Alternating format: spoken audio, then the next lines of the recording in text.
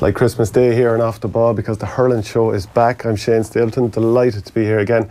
With me, I was supposed to have a Biffo double team, but Will O'Callaghan has pulled out, so we've only got Birr man Michael Verney here today. How are you doing, Michael? Good, Shane. One is enough now, to be fair. I'd just like to put it on the record as well that your kind of credibility as a hurling man has been called into question given the fact that you're now involved in a rival football show. So you're you really have to prove yourself all over again. Uh, I'm trying to be a dual presenter here. Is there any problem? With, the day of the dual player, the day of the dual presenter is gone. I'm trying to prove that a dual player can still survive. No, I don't think they can, but you're not having it. You're not having it. Um, I was just thinking before we came on air there, like funny stories of when you grow up playing hurling. Is there anything that that uh, kind of comes to mind for you of a game you might have played in as a young lad? Um, I suppose it's probably more the the mad kind of notions you'd have as a young fella. I, I don't know, probably only country people would be aware of it, but I don't know if you ever had in your house growing up. You know the way the flies would be going rampant during the summer? Like yeah. we used to always have and we actually had it this summer as well, which is I'm ashamed to say. This like it's like a yellow kind of thing that hangs off the, the fly ceiling. tape. Yeah, oh, it's the most horrible looking and you'd be like people who come into the house and they'd be like nearly avoiding it. But there'd be about forty flies on it, so it serves its purpose. But when I was about eleven I thought it would be a great idea like like why like why what's the story here? Why are the flies dying? Like they're obviously getting stuck to it so it's like maybe if I like put a bit of this on my hurl and I went for a solo run like they wouldn't be able to get the ball off my hurl.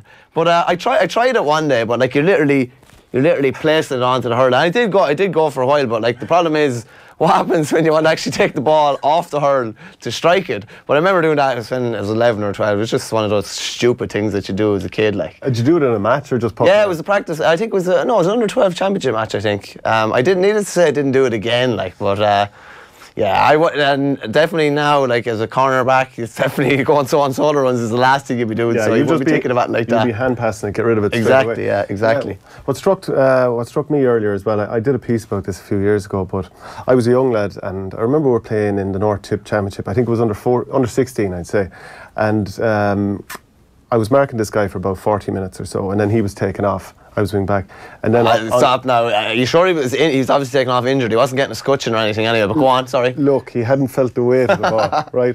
And then a girl came on in his place. Lovely. And I thought, sure, look, things are going to get even better here as well because you know I'm some stallion or whatever. That's. Uh, but anyway, the game finished and all this kind of crack. They got a goal at one point, and I, I wasn't sure what happened. But um, I was working then on a building site a few months later. And my my uncle was taking me to was bringing me. It was on his site, and he goes to me one day in front of everyone at break time, and I'm 14 or 15, and you can imagine how young and meek you would be at that stage.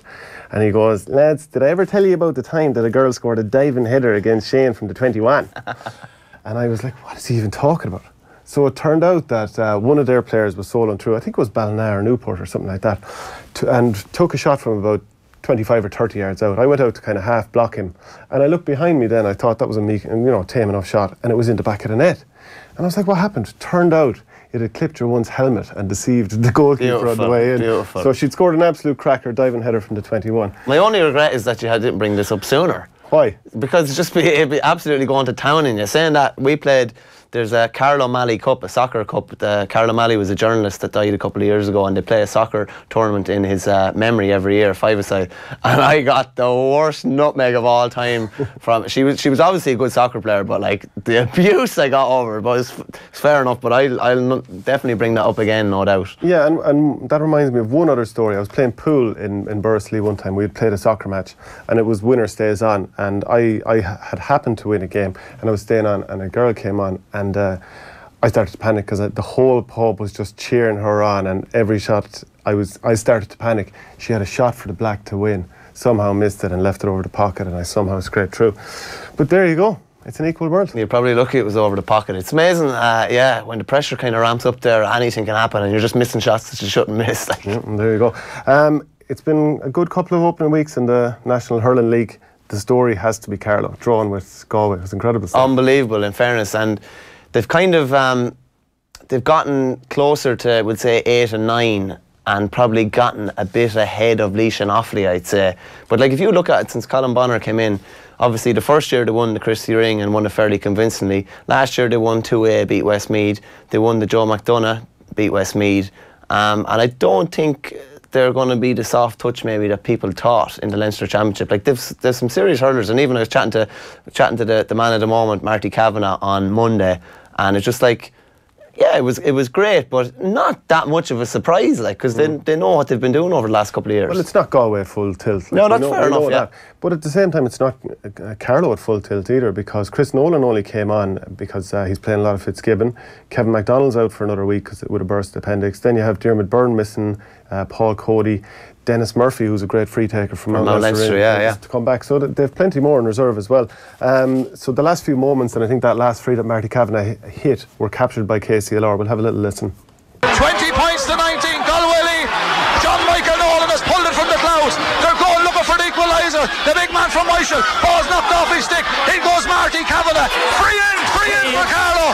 This could be the most important point in History because status in the Division 1B, two points won't keep you there. Three could get you to a quarter final. And if anything, I think no one in Galway would begrudge Carlow a point here today. They've given it everything. Marty Kavanagh with the free, sends it across the face of the goal. We're level in Dublin Cullen Park. That should be it.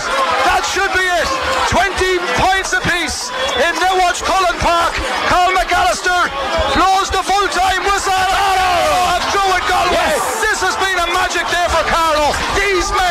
deserve credit. And I hear some of you say it's only Division 1B.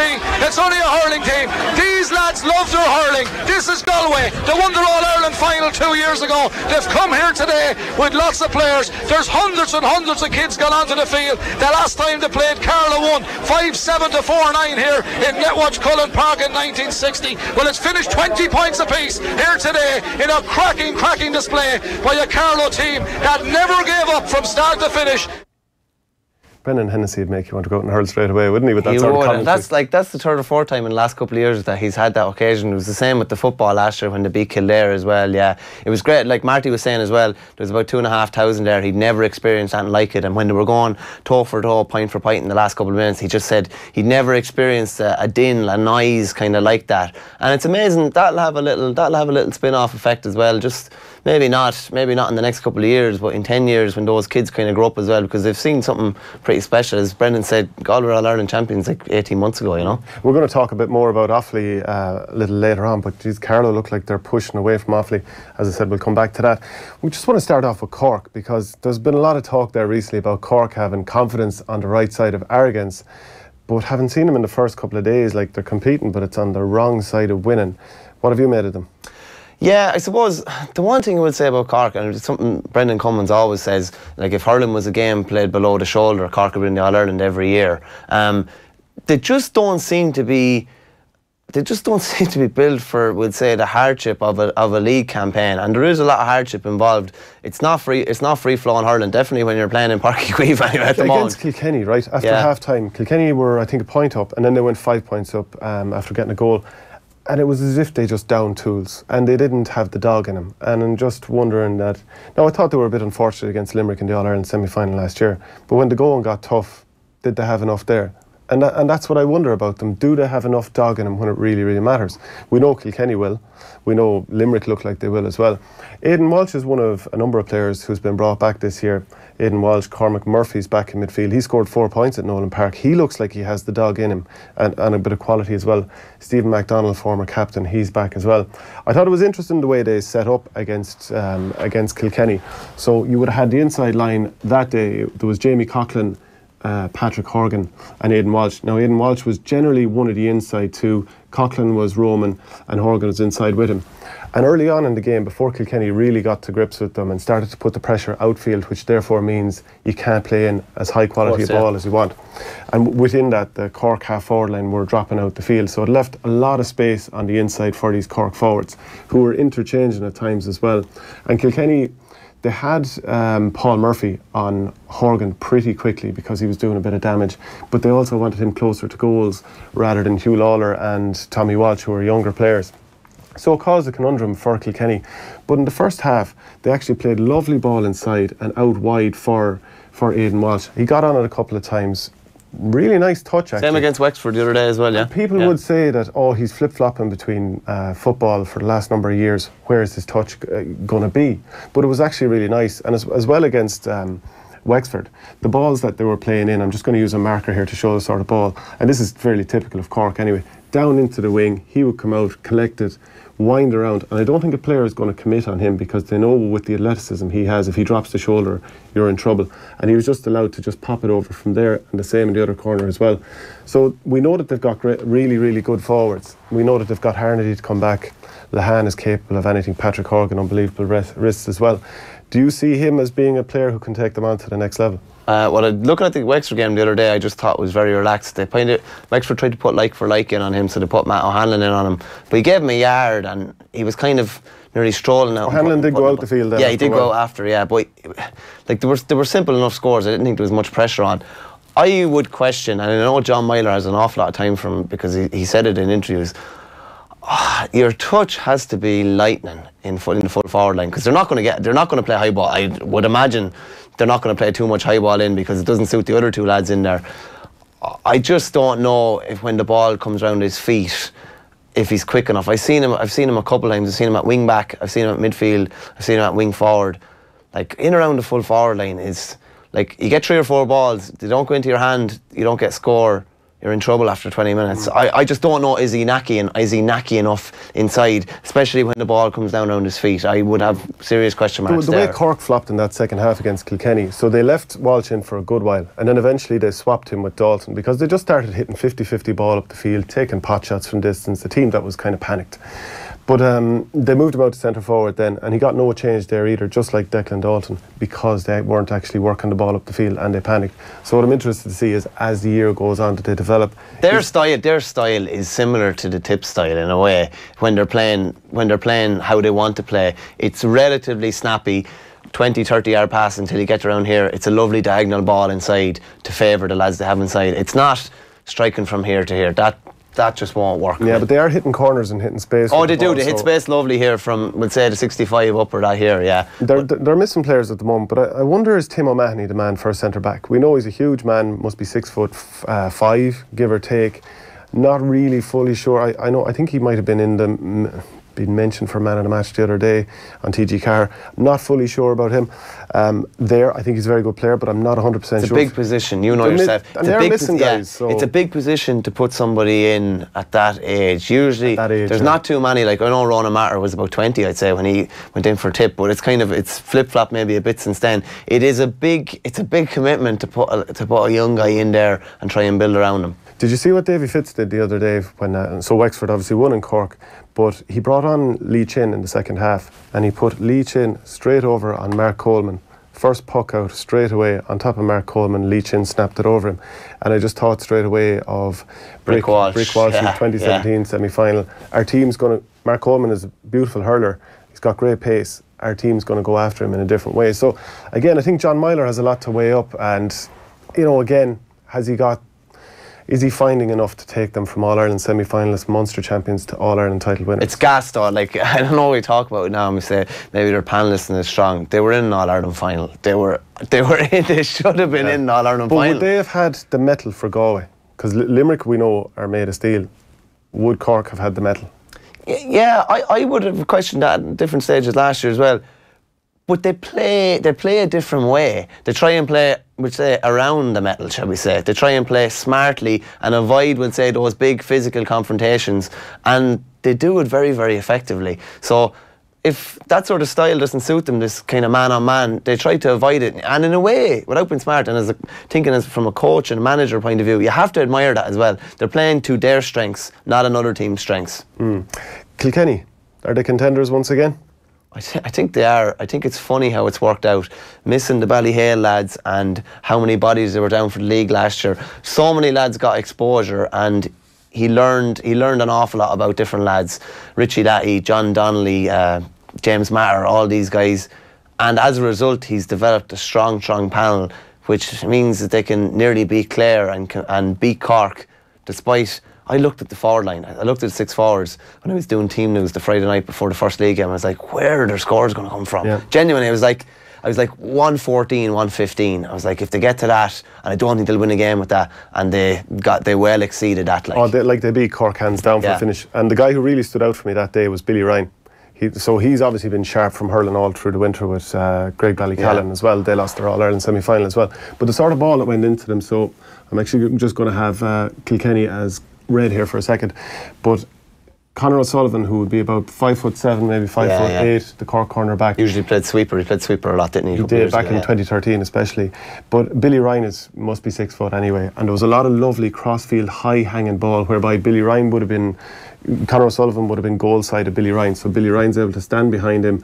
And the ball has been lofted in, and he's able to catch it over him. And he's the sort of player who's going to take the ball and go at you straight away. He's lightning, isn't he? And he's lightning. light. I a didn't realise he was as quick. Yeah, It's he's very Kilkenny-esque way for a forward to be turn, go at you, look for the soft shoulder, Yeah, and try and burst through. So he could be the next guy. And when you consider like they were competitive against Clare, now and all te- all players are down, or all teams are down players at the moment. They beat Cork well. They were very competitive against Clare.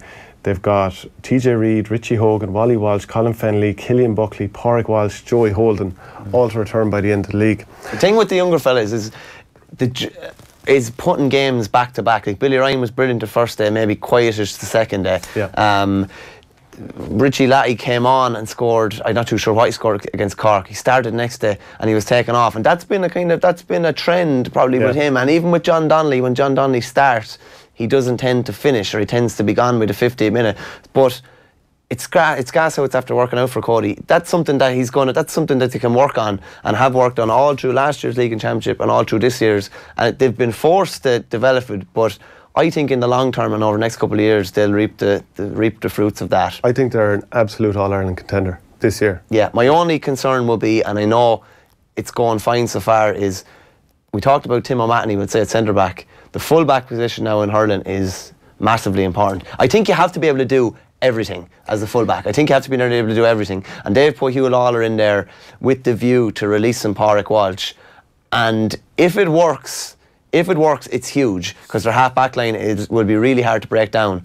If it doesn't work, Pádraig Walsh is moving back and maybe hasn't played there in a couple of games, and you're shuffling and moving and changing. But it'll be interesting to see. He's obviously seen, uh, he's obviously seen a good bit with him in club action with O'Loughlin's and likes the look of him. So it'd be interesting to see how that goes. That would be my that would be my main concern. It's a, like I'm just trying to think of Kilkenny down the, uh, down the line further on the season when they played the likes of Clare and Limerick in the championship, and we and Kilkenny, uh, Galway as well.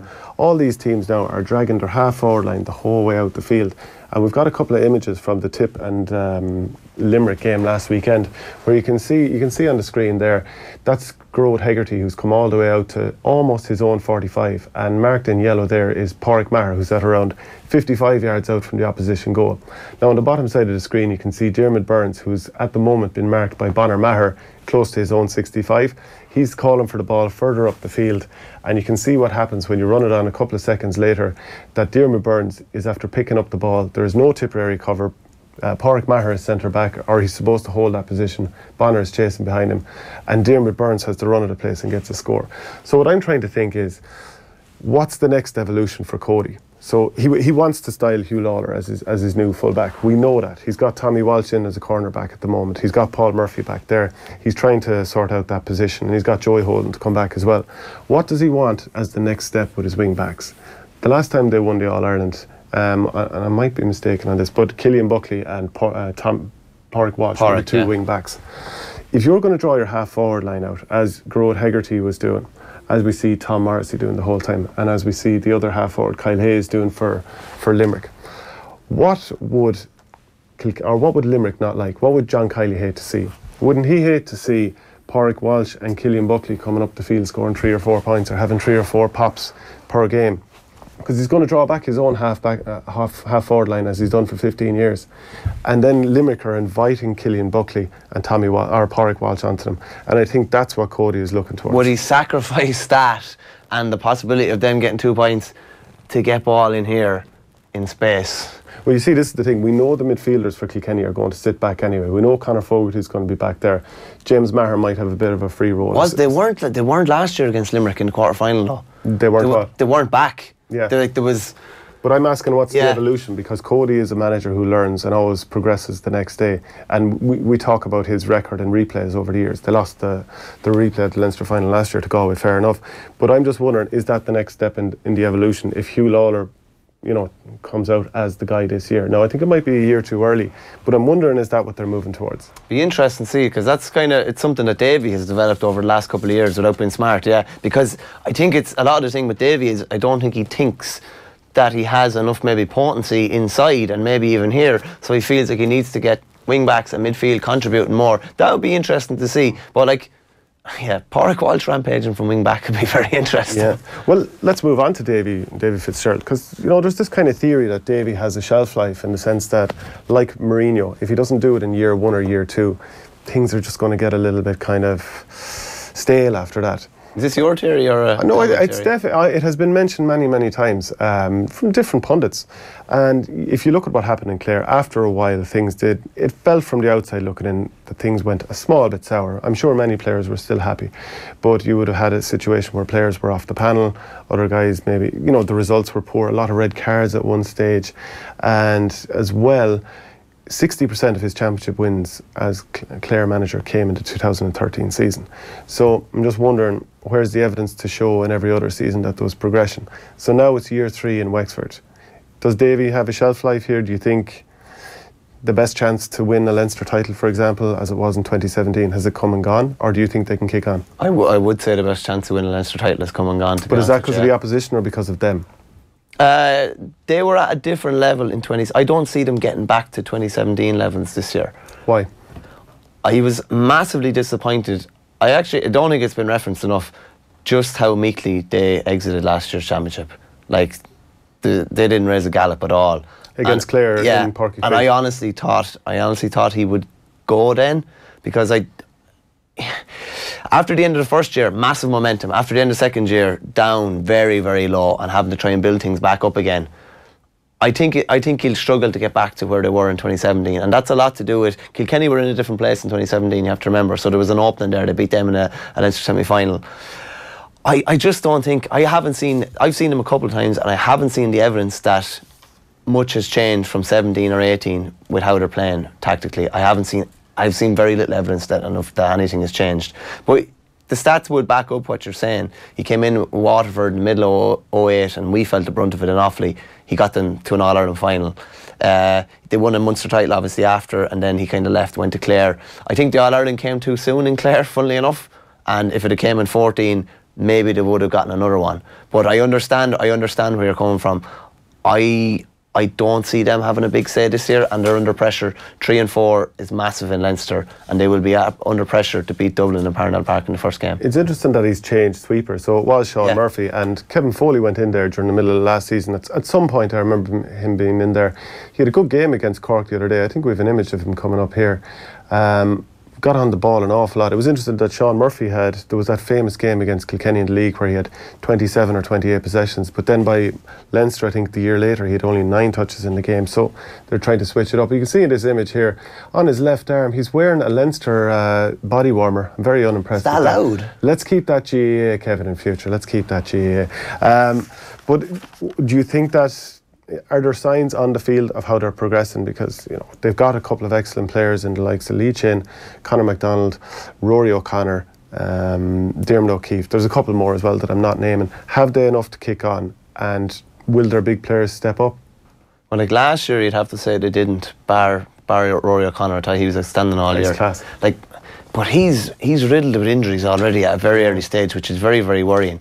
And he's only kind of coming back now. And I know he was he was mixing Fitzgibbon with a bit with Wexford as well. I think I think it's mad to say, and I know he's very young, but an awful lot rests on his shoulders, really, because he does have a bit of an X factor. He's the sort of lad that can get your one, three, or your four points, and makes them makes them tick a bit. Like Lee Chin is, has no point in saying any difference. He's a serious point to prove Yeah. this year, um, because last year just didn't did not go well for him in championship at all. So. I- I think they're, I think they're going to be under pressure. I think they're going to be under pressure, and I think Dublin could possibly pip them for that third spot in Leinster. But it's great to have that because it's going to be unbelievably competitive, and everyone's looking at Munster. I know you're a Munster man, like, and everyone's eulogising about the Munster Championship, but the, the Leinster. Championship, Leinster Championship is going to be very, very interesting, and it'd be going to be more interesting if Carlow could squeak a result against someone. if if we're like Carlow pushed Dublin hard in the league there a couple of weeks ago, but realistically, at the height of the summer, are Carlow going to be able to, to kick on, or are they unfortunately going to be the weak team that kind of takes it away from being takes it from being an unbelievable provincial championship to somewhat slightly predictable because everyone is going to beat them. You know, in Munster, we know that anyone can beat anyone. Mystical wonderland that it is, but and it's not meant to be insulting to Carlow, but is that not just the reality of it? Ah, but it's going to be. There's no point. Like, and let's not let last weekend's result kind of cloud division. Like, it is going to be very, very hard for them to, from nearly out of nowhere, to compete in a Leinster Championship against those four very, very strong counties. So they are going to be under pressure. But I will imagine they'd be competitive and. I hate to say it, they would probably be a lot more competitive maybe than Offaly were last year because those games were nearly all written off before they started, whereas a couple of the games in Carlow could be particularly interesting. We're going to have to talk about Offaly because I pointed out, you know, the, the poorness of their results and you know, after after two league games, they've scored a total of 19 points. And I had people giving out to me saying they should be in Leinster. It's a case of the elite teams, they're pulling the ladder up after them and leaving the likes of Offaly behind. But in two games, 19 points, your top scorer, joint top scorer, is your goalkeeper with five frees. So, can you please tell me what justification there is for keeping Offaly in the top tier of the Liam McCarthy? Um, we talk about like I know people laugh at us about like being hurling snobs or whatever. Yeah. The hurling snobbery, I think it's a bit mad, and obviously I'm from Offaly and would give anything to see Offaly doing well. But there is a snobbery element there. I think because Offaly were successful in the 80s and in the 90s and won two All Irelands in both of those decades and were competitive up until five or six years ago, I would say that oh, it, 10 or 12 it- years yeah, ago. it beat ah no ah no, Actually, 15. should have beaten. Dublin in 2011 in the championship, but go on. What year did you get beaten 31 points by Kilkenny? 06? Oh five, oh five in 05, so, Park, yeah. yeah, I'm gonna stick to my guns there. But but uh, just back to it, like everyone says, oh, it'd be terrible to see Offaly go, and it would be, and, it, and it is terrible. Don't get me wrong, but if you're not competitive, you're not competitive. Give And some, the- give someone alright, else, give someone else a go at being competitive. Right, so I'm going to list out um, a number of players that are no longer there. And correct me, because this is from a week or two ago that I put this list together. So if somebody has come back on Yeah. the panel, definitely mention it. But Connor Slevin, uh, Stephen Corcoran, Niall Wynne, Paddy Delaney, Brian Paddy Mulroney, Delaney, yeah, okay, go on, yeah.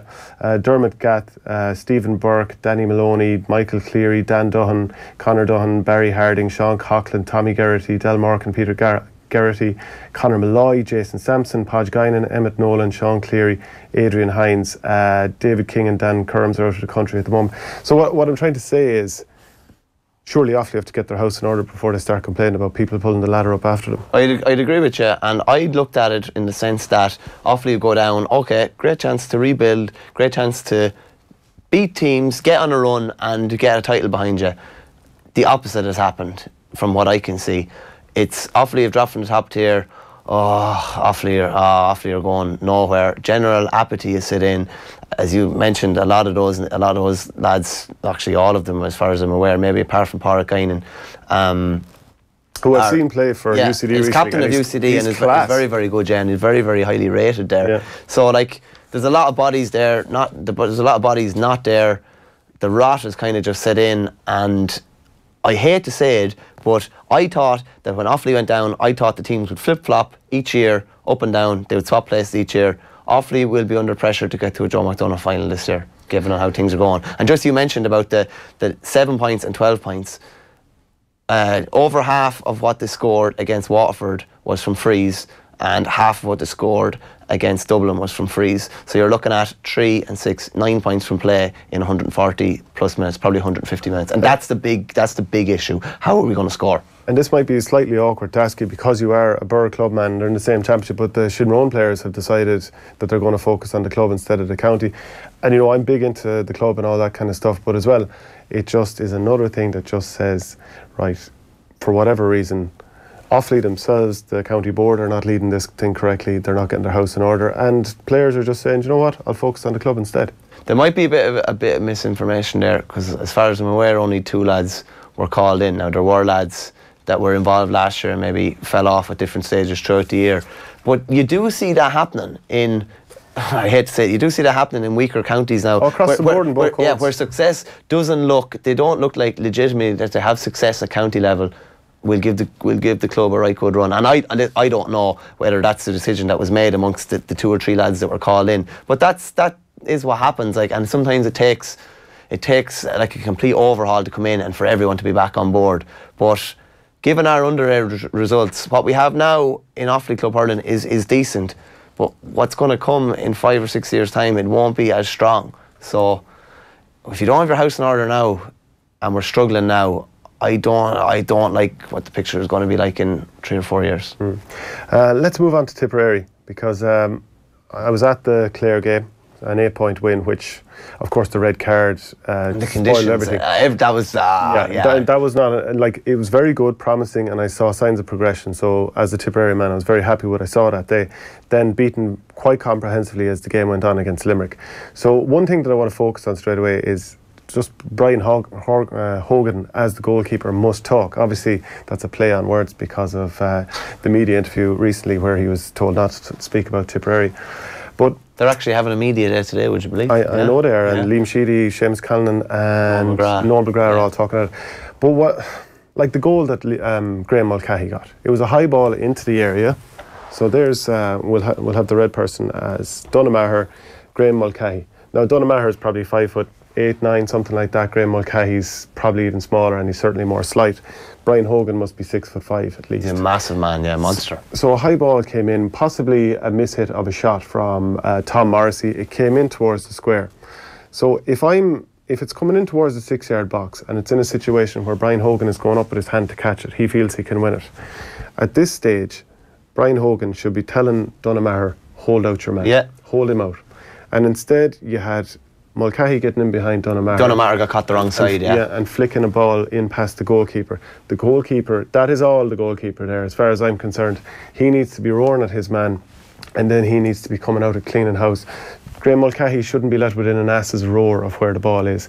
Donagh Maher should put his hand up with the hurley, waving Maria, I'm going for this, but really he's just holding back Graeme Mulcahy. And I think that's a big thing that we saw with Tip last year against Waterford. There was one incident where the same thing happened. I think uh, Brian Hogan has some qualities and he can be a top intercounty goalie, but you can't let that happen. Just on just on that, like, and hurling has obviously changed, but like, and the, probably the arts of defending have probably changed a bit, and are maybe not the same as they were maybe ten or fifteen years ago. But like, when a ball goes in, you nobody gets near your goalkeeper. They don't get within. They don't actually get their hurl close enough to get a block in on the goalkeeper. That's the way it is. Yeah. And it's not glamorous. It's it's not glamorous at all. And the ball is coming into the goalie here. Brian Hogan, we just say, is here. Ball is coming in, or the defender is here. You're literally like doing the back does dummy runs to the right, dummy runs to the left, just to stop the forward getting around. That's what you do. Far too often now, though, it's just like they're not maybe touch tight, and he's getting in here. And he just, n- not in a month of Sunday, should have get in there. Another thing on that goal is this. I have an issue with the keeper coming off the line. I have an issue with it in football as well.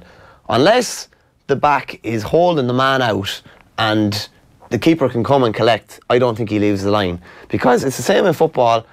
If the ball if the ball gets a touch on it, it's a goal. Yeah. Because the keeper is here. And the defend the forward has got a flick here and it's into an open net. Whereas if he stays on the line, if he's not sure, I would always stay on the line if I'm not sure, because at least he has a chance of saving it. Mm. That's an issue I would have now. But the art of defending is probably yeah, probably needs it probably could be refined a bit more. The game has changed; it's a lot more attacking, but there's certain things that will always follow through. That will always that will always have a significance in hurling. As I said, I, th- I think it looked like Limerick, who were on year three with John Kiely, it looked like they were playing a different game to Tipperary. When they got, got the ball at the back, they were just popping it out to Class. each other, working it up the field. And at times Tipperary were trying to do it, but at times as well, Tipperary just, they lumped the ball up the field as they have done for so long. And I think we have a couple of screenshots here showing the sort of ball that Tipperary were playing up the field. So you can see there I've counted eight uh, Limerick defenders, and I think it's perhaps five or six Tipperary players. But it's high hanging ball that takes an age to drop onto the ground. Never a forwards ball because the back is normally behind you, ready to sledge you.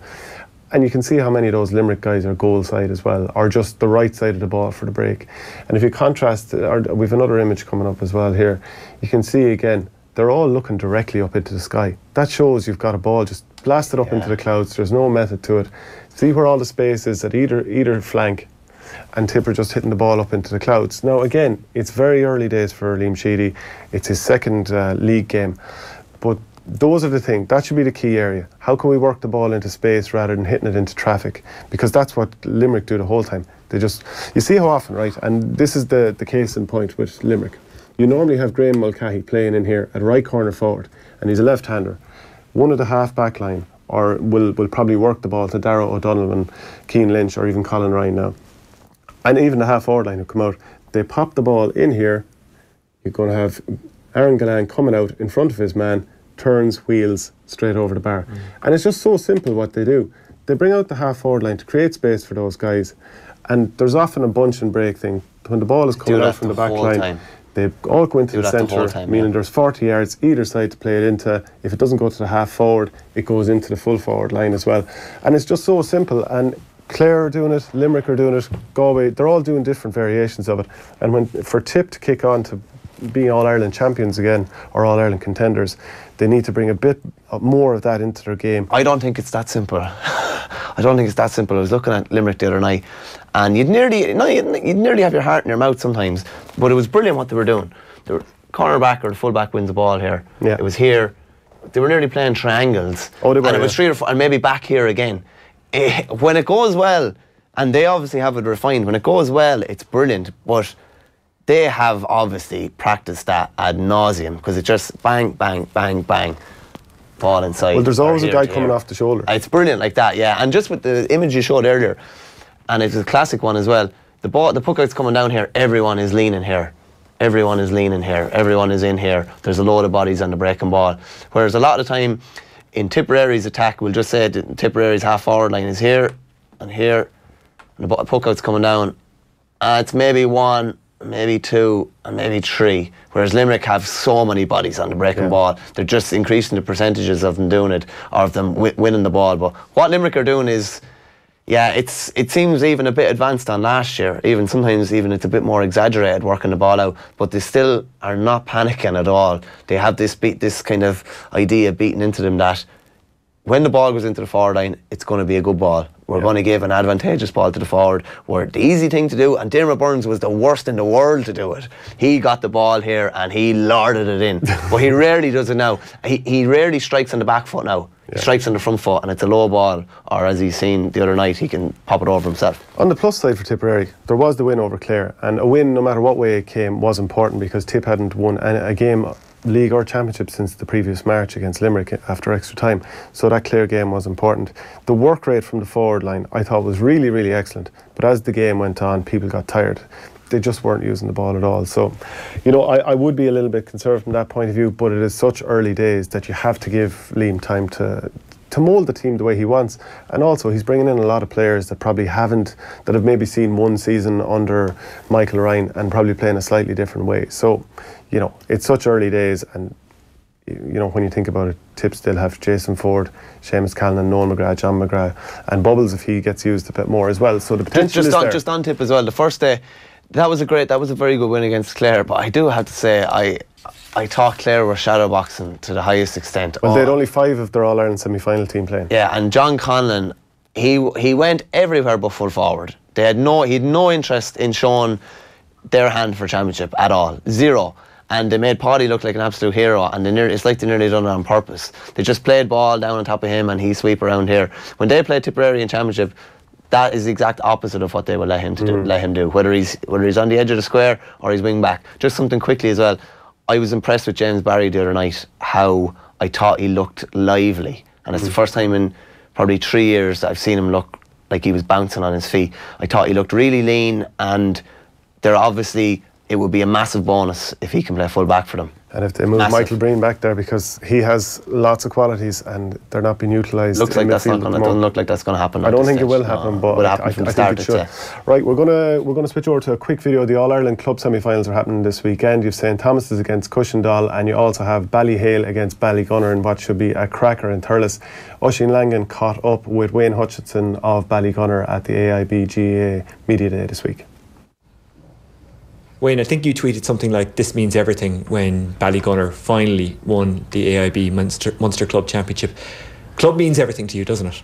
Um, yeah, absolutely. Of course, um, I suppose as a as a group of players, where even though we've won a, a, a number of county medals, um, there was always that feeling that we underachieved because we never actually won the Munster Championship. So as a group of players, it was always something that we wanted to achieve because I suppose there was a lot of talk around the, the last team to win the championship in, back in 2001. So we kind of wanted to create our our own bit of history. Um, and even though it, it took a number of heavy defeats or disappointing days, we absolutely were absolutely thrilled to get over the line. And um, yeah, absolutely, club club is where it's at, and it's absolutely fantastic. What kind of game are you expecting against Ballyhale? It's essentially a kind of a local derby of sorts. Yeah, no, absolutely, uh, Oisin. It definitely is a local derby. Like, there's probably between the two clubs, let's say there's a 30 minute drive between the two clubs, probably just the bridge and Waterford really separating us, like, you know. So, um, we're going to, like, Ballygunner, we're going to be need, need to be at we're going to need to increase our performance by 20% uh, from the Munster Championship game against Na Piarsaigh if we're if we're going to have any chance there. Absolutely fantastic club. They they they've been here. They've been in Croke Park on on uh, they've been in Croke Park on um, All Ireland final day. There's a lot of players in that uh, squad that have achieved the ultimate dream of winning all Ireland club. So this is brand new territory to, uh, for ourselves. So um, it's going. To, we know it's going to be a massive, massive game, and it's going to be. It really is going to be 50-50. Um, but hopefully, like we can perform on the day and bring something to the table. Yeah, briefly Perfect. marked uh, Wayne Hutchinson in a county final there in 2015. Big beast of a man caught a ball over me, which really sickened me. I, I said, wouldn't be the first or the last to do that no, first. And that hurt now. Nathan's after joining us for the debate section. How are you doing, Nathan? Great to be here, sandwiched between two good hurling men. Well, Mayo are a good hurling side as well. Unbeaten so far in the league this season. Now, granted, trip to London last weekend, the game was called off. Yeah, nothing easy there in bad weather in London. First match, but yeah, coming force. No Keith Higgins for the league this year either. I know. Is that are you happy about that as a massive Mayo hurling fan or an even bigger football? Well, fan? you see, uh, hurling, yeah, Ballyhaunis, where I'm from, is part of the hurling stronghold of Mayo. So obviously, we want the hurling team as strong as possible. But I think anything that gets Keith Higgins in peak shape for football championship. You've really drummed up interest in the All Ireland Club semi-finals with your interview with Colin Fennelly, haven't you? Yeah, I'd say you might be looking to chat to him afterwards somehow. Remind us about that. That it was quiet. A quick word on that before we get to the debate. The club semi-final. So Ballygunner, after winning, like they won the Munster title in 2001, their only win in nine attempts, if I remember correctly. Uh, Ballyhale have won the All Ireland a number of times at this stage who do you fancy based on the idea that Ballygunner are coming into uncharted territory, all these players, versus Ballyhale, where it's almost conditioned into them, we're the team, sort of team that wins All Ireland? Ballyhale have surprised me, I won't lie. The, um, I saw them down in down in Wexford Park against Naomh Conor McDonald's club, and while they hit them for hit them for six goals that day, I just, I, I, they just keep, yeah, they keep surprising me, to be honest with you. I keep finding, trying to find deficiencies in them, and they just keep blowing them out of water, like they did with Ballyboden in, in the Leinster final. When it comes to All Ireland, Ireland uh, experience, it doesn't get much better. So they're top of the roll of, roll of honour realistically, and it's going to be really interesting. Probably might be a shootout with TJ and Pauric Mahony as well. That's going to be really, really interesting. Obviously, the, the managers as well, uh, Henry versus Fergal Hartley, two kind of county legends as well. It's going to be very interesting, but you'd, you'd have to, I'd have to side with Ballyhale just about. Now, Nathan, take over. What's happening here? All right, so this is the debate section. This is this going to be a weekly event. Yeah. So a weekly duel, actually. Verney on one side, Offaly on one side, Tip on the other. This week, one big talking point for you. You're going to get 60 seconds each to make the case. Should Mattie Kenny go after Diarmuid Connolly and bring him into the fold for the Dublin Hurlers? You're going to get a minute each, lads. This is going to be timed, so no messing about. Michael, you can go first. Should Diarmuid Connolly be brought back in or brought in with the Dublin Hurlers? Uh, I think that's a crazy notion. The man, while still playing competitive hurling with St Vincent's, hasn't played county hurling of any description since 2007, since they were beaten in an under 21 semi final. Uh, sorry, uh, all football fans hurling is not like football. You can't take a year or two out and just come back in or come into an intercounty fold. He's never been in a senior intercounty hurling fold.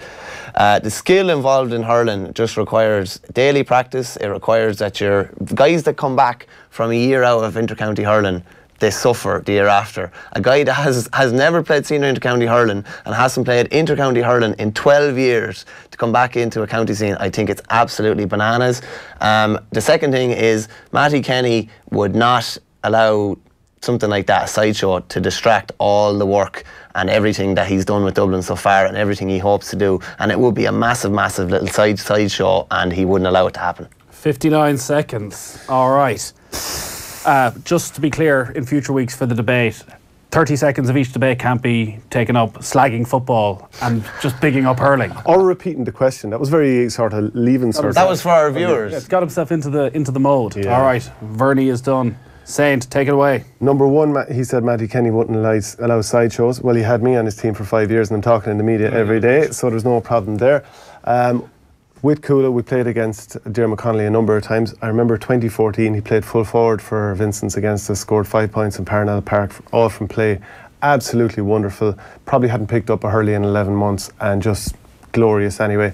I saw him in the last couple of years. I saw him midfield for Vincent's, got a couple of points from his own 65 more or less. Just ran the show. He's unbelievable athlete. Yes, he would need to clean up his hurling an awful lot to get to inter-county level. And now the music is after coming on with countdown. Now I'm panicking. But like I'm just trying to think, who does Mattie Kenny want full forward? Play the ball in front of him. He's an unbelievable athlete. Turn, go at you straight in on goal. He did it with Con with the club would he like to have someone like Connolly doing it with the county? Because does he have that many other options? Yes, Mark Schutte can do it, Eamon Dillon can maybe do it, but I think Connolly would be unbelievable in there, and it'd be worth getting him in to see what he's like. Well, I'll tell you what, boys, you're good. A minute. So do I do I decide just to go with my feeling or who made the better? What's your feeling? Yeah. Well, like, you see, it's, you can fall down on both sides. You understand that will bringing Diarmuid Connolly in destabilise what Mattie Kenny's been doing over the last few months. But for sheer excitement, surely when you're a Dublin hurler and you're living in the shadow of the footballers constantly, like this is going to dominate headlines for a couple of months. Suddenly everybody's wondering what's happening with the Dublin hurlers because Diarmuid Connolly's there. And also, is there the possibility that you need to be a realist if you're in Dublin hurling that the footballers are taking your best players, that you offer them a path back? That when Conor O'Callaghan gets to 28, 29, that you say, listen, we understand that you wanted to go with the footballers, but there's always an opportunity to come back and play for the hurlers. Whose side are you on? I'm going to go with you, Saint. Oh, be- okay, right. So you're telling me Oh, you that don't get to debate. I just my decision is final. That's he's five. All Ireland football medals. You're telling me that he's going to go into a hurling setup where they could struggle to get out of the Leinster Championship rather than if if he was going back to playing inter county. But do these guys not have the love of hurling? Is that not what draws If he them had the love of It's hurling, he would have been playing it for the last Ah. 10, 10 or 12 years for Dublin. Uh, I don't know. It might be just the perfect time. It's hard to like. Mossy Quinn had a picture of himself. Um, I think the the Blue Panther and uh, Dermot at Croke Park the other day for the Galway game. Made me wonder. Okay, does that mean that he's not going to be involved anymore? Maybe he will be. Maybe he will be with the footballers. But I just thought, imagine him in a Dublin hurling jersey. If he got going, if he was fit as a fiddle, if he got his touch right in a short amount of time, how exciting would that be? Can I just say this decision is classic OTB favouritism. I'm the outlier in here. don't I'm, I'm, like ju- I'm just a small fish here. We've got a couple of comments in. Just get your debate a little bit better for next week. We've got a lot of comments in here. Martin Furlong on YouTube. Welcome back, lads. Do you think Wexford could win something this year? Foley is playing the sweeper superbly, and we have strengthened the forwards with a fully fit McGovern and Dunbar. They have. I still think they're just a little bit short. yeah, I, d- I don't think they have um, forwards that will do the damage when they're playing. They're going to be playing six on five up there. Yeah. So they're going to be under pressure. Very hard as a forward. I think you get a bit dispirited as well, constantly chasing, uh, being outnumbered.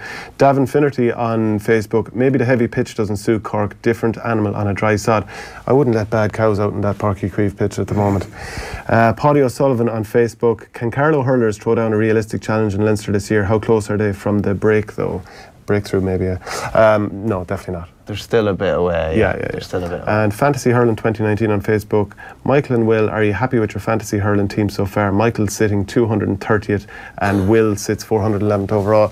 Will didn't show up today, so do you want to answer for Will? Uh, I'm sure he's very proud of that. 430th out of how many?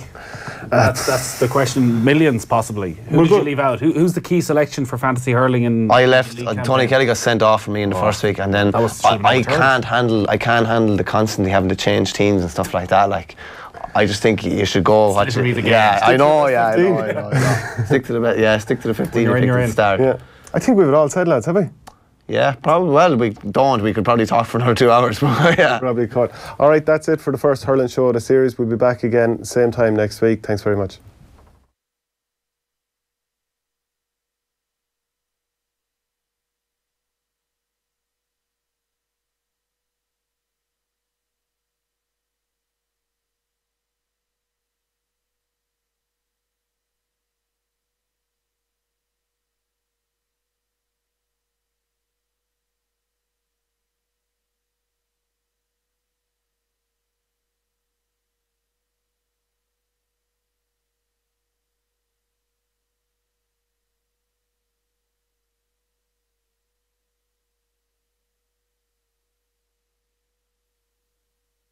Probably changed a bit. And are maybe not the same as they were maybe 10 or 15 years ago but like